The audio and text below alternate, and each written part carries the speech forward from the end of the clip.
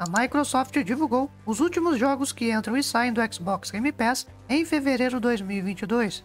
Bora lá então, sem enrolação. Começando pelos jogos que vão entrar. Ao todo, três jogos vão entrar no dia 17 de fevereiro. Law Movie Simulator entra no Xbox One, Maiden NFL entra no PC e nos consoles Xbox, e para finalizar, Total War Warhammer 3 entra no PC. No dia 22, um jogo solo. RoboQuest entra no PC. No dia 24 de fevereiro, dois jogos. Galactic Civilizations 3 entra no PC e Super Mega Baseball 3 entra nos consoles Xbox. E para finalizar, no dia 28 de fevereiro, Alice Madness Returns entra no PC. Há rumores de que Cyberpunk 2077 fique disponível hoje no catálogo. Assim que for confirmado, vou colocar aí no comentário fixado e na aba comunidade do canal. Então fiquem de olho.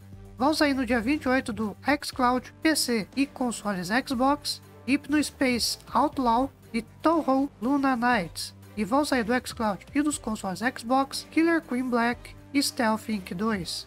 Bom, galera, é isso aí. Se possível, deixe o like e se inscreva caso não seja inscrito, ativando as notificações para conferir sempre de forma rápida a lista do Xbox Game Pass. Eu vou ficando por aqui.